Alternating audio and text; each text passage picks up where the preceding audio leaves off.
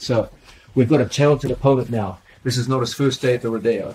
Okay, you went from everything okay to oh shit, this is this is going terrible. Okay, it's not really a danger when we've got a jacket on. There's a lot of friction, but if we both take our jackets off,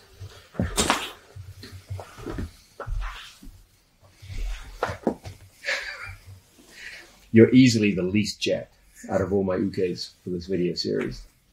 Just feeble. Uh, so now, I know a lot of people say, "Oh, Danaher is such an asshole. He he brings in these arcane Japanese terms to make things sound more complicated than they really are. And why doesn't he speak plain English?" Um, well, it's true. I am an asshole, but not for the reasons people think.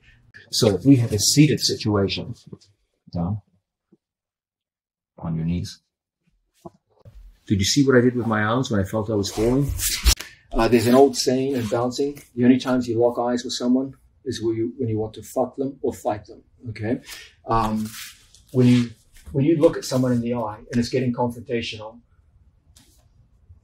we're not here to fuck. Okay, that means we're going to start fighting. Don't don't fuck around. Okay, it's time to go. You see what happened? You got knocked down.